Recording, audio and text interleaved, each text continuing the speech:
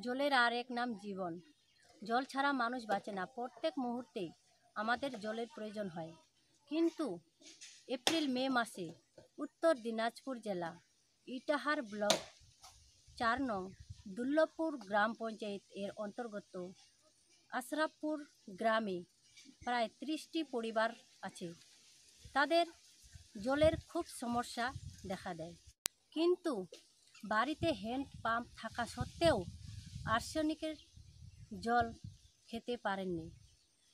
আসুন আমরা শুনে নিই তাদের মুখ থেকে সমস্যার কথা। টিউবওয়েলের জল এখন যে পরিস্থিতি, তাতে আমরা তো আর বড় ডাক্তারের কাছে যেতে পারি না।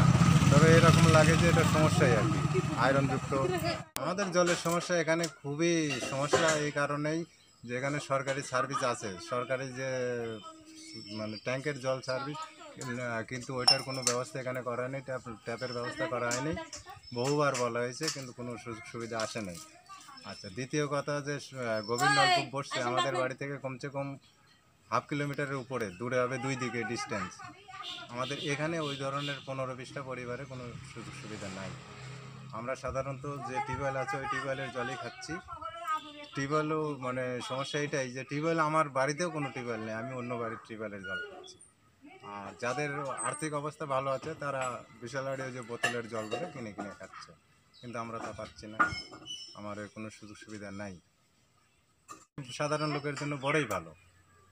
যদি আমাদের এই পনেরো বিশটা বাড়ির জন্য একটা যদি মানে সার্ভিস যে জল আছে, জলের যে ইয়েটা লাইন আছে, ওখান থেকে এখানে যদি একটা ট্যাপ করে দেয়, তো সবচাইতে বড় ভালো যে আমরা কমসে কম পনেরো বিশটা সাধারণ পরিবার বাঁচবো বা পরিষ্কার জল পাবো। এই আমাদের আশা।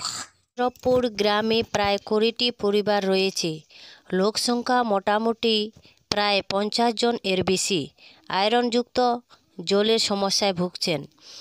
এই সমস্যাটি নিয়ে আমি গ্রামের মানুষের সাথে আলোচনা করি এবং তাদেরকে একত্রিত করে আমি একটি আবেদনপত্র লিখি।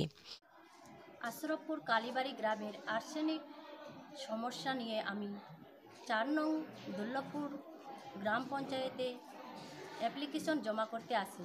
কিন্তু পঞ্চায়েত প্রধান অফিসে না থাকার কারণে আমি অ্যাপ্লিকেশন জমা করতে পারলাম না। কিন্তু আবেদনপত্রটি আমি হোয়াটসঅ্যাপ করে পাঠিয়ে দিই পঞ্চায়েত প্রধানকে। আপনারা যারা আমার এই ভিডিওটি দেখবেন তারা অবশ্যই ভিডিওটিতে লাইক শেয়ার এবং কমেন্ট করবেন।